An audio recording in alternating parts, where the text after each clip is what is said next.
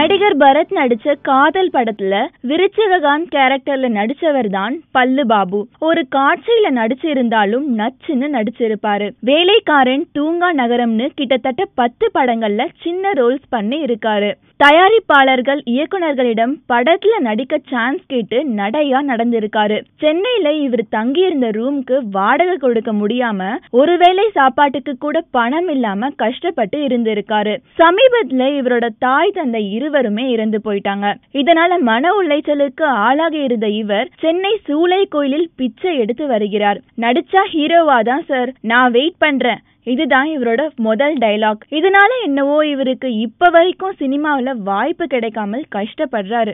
காதல் படத்தில் பண்ணேன் சார் நல்லா. பண்ண நல்லா வாய்ப்பு கொடுத்தாங்க. நல்லா தான் பண்ணேன். ரொம்ப சந்தோஷப்பட்டாங்க.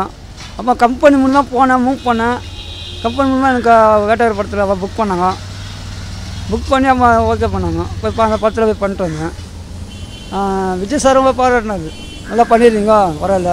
அப்பா அம்மா வந்துட்டாங்க அண்ணன் தம்பி நல்லா இன்னும் மேரேஜ் ஆகலை யாருமே எங்களுக்கு. எனக்கு தம்பி மேரேஜ் ஆகலை. அண்ணன் பெரிய அண்ணன் மேரேஜ் ஆகிடுச்சு பெரிய அண்ணன் மேரேஜ் ஆகலை. நடு அண்ணன் மேரேஜ் ஆயிடுச்சு. அவர் பேங்க்கில் ஒர்க் நடு அண்ணன் பேங்க்கில் ஒர்க் பண்ணுறாரு பெரிய அண்ணன் அந்த பாஸ் அவர் ஸ்பீக்கர் பாஸ் தான் சார். படம் இல்லாமல் ஏதோ ரைட்டு தூக்குற மாதிரி ஏதோ ஒரு வேலையில் போகிறாங்க சார். பேர் நாங்கள் விருச்சகாந்துங்க அது நாங்கள் ரஜினிகாந்த் விஜயகாந்த் ஸ்ரீகாந்த் கிருஷ்ணகாந்த் அதெல்லாம் விருச்சம் இல்லைங்க? விருச்ச ராசியில் போனாங்க ஜோசிகா சொன்னார். ஒரு ரவுண்டு வரீங்களோ விருச்சிகாந்த் தான் ஒரு சிஎம் ஒரு டெல்லி ஒரு படி படிப்படியாக சிஎம் ஆமாம் சும்மா சும்மா அந்த பொண்ணாம்பா நகலாக பண்ணிப்பா.